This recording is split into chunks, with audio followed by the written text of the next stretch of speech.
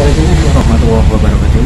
Selamat datang di channel Tukang Kayu Sederhana. Kali ini saya akan memberitahu bagaimana caranya membuat dol pakai kayu dengan cepat dan mudah. Pakai ini sisa engsel pintu bekas engsel pintu ya. Ini mudah didapatkan teman-teman tapi sebelum itu jangan lupa like, komen, dan subscribe nya oke. Mari langsung saja kita buat bagaimana caranya membuat alatnya dan juga membuat dowelnya langsung saja cus. Oke pertama-tama kita lubang dulu ini. Lubangnya diperlebar sesuai ukuran yang biasa kita gunakan ya. Kalau saya pakai 6 mili ukuran 6 mili. Kita lubang dulu ini ya.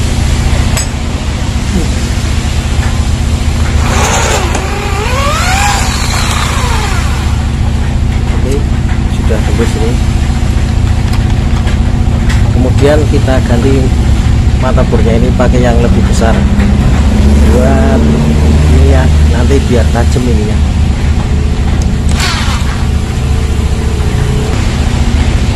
oke ini mata bornya sudah saya ganti pakai yang satu senti 10 mili ya. Kita bor lagi bagian sini tapi ingat jangan sampai tembus ya supaya ini tajam saja. Jangan sampai tembus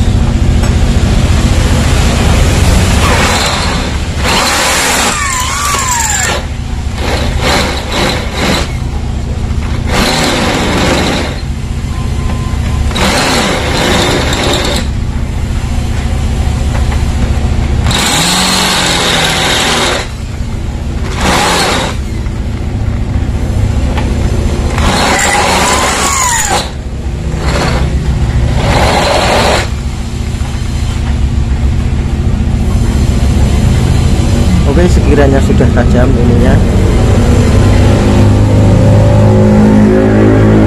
Jangan ukur lagi ya ini supaya nggak tembus. Nanti kalau tembus bahaya ini.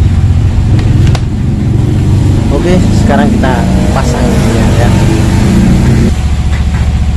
Setelah ininya jadi kalian buat lubang lah seperti ini yang besar ya. Supaya ini enggak nanti sisa-sisanya kayu langsung jatuh ya terserah mau bikin di mana saja bisa ini lubangnya ya.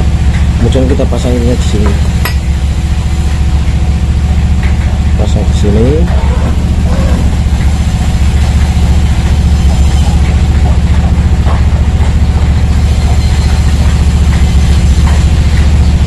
Kita cum tarik balik sini biar kencang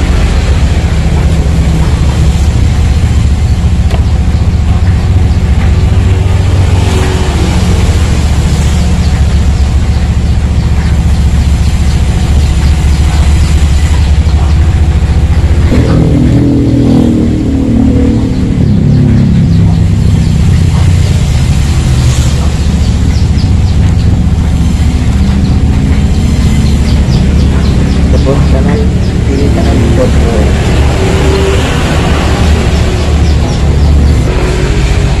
setelah itu kita siapkan air ini baunya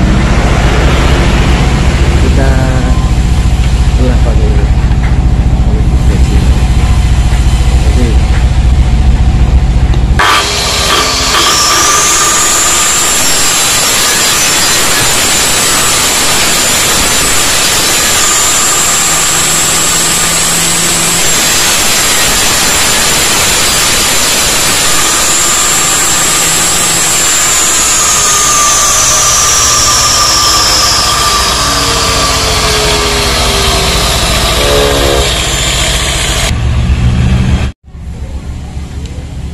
setelah kita belah kita potong saja ya biar gak sepanjangan jadikan berapa bagian? Ini saya jadikan 10 sampai 12 cm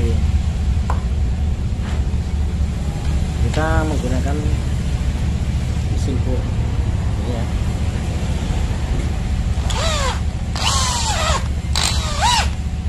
Oke langsung saja kita coba pakai ini